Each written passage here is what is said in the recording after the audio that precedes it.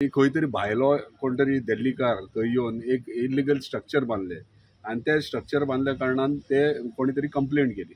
कारण आमच्या ऑनरेबल हायकोर्टान कितें केलें? इन्स्ट्रक्शन्स दिले ते सील करपाचे आनी डेमोलिश करपाचे.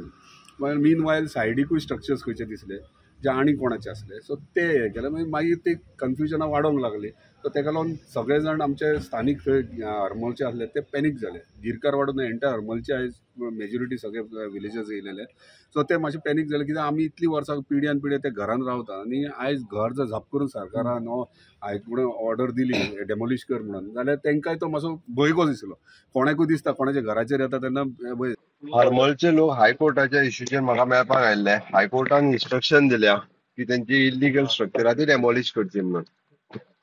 त्या विशयाचेर आमची CRZ pollution control board environment ह्या सगळ्यांची मिटींग चार तारखेर लायल्या जे कितें लिगल आहा तें सेव्ह करपाचो आमचो प्रयत्न आसा त्यानुसार तांकां कितें आसा तें सोल्युशन आनी हें आमी दिता. सो दॅट एकदां पोल्युशन कंट्रोल बोर्ड एनवायरमेंट ह्या सगळ्यां कडल्यान मिटींग जाली तें डिसायड जातलें. तांकां वॉट एवर लिगल आसतल्यांक सपोर्ट जो कितें आहा तो सरकारा कडल्यान मेळटलो